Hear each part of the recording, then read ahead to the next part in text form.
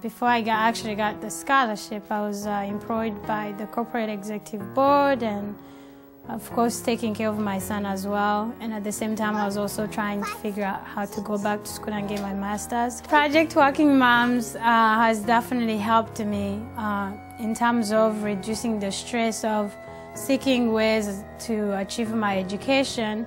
I grew up in a refugee camp. Uh,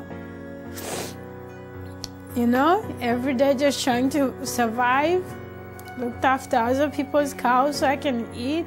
And I never knew the world was bigger than where we lived. So it's amazing that I actually got this opportunity because it's unbelievable thinking where I came from to where I am now. This scholarship has really, really given me hope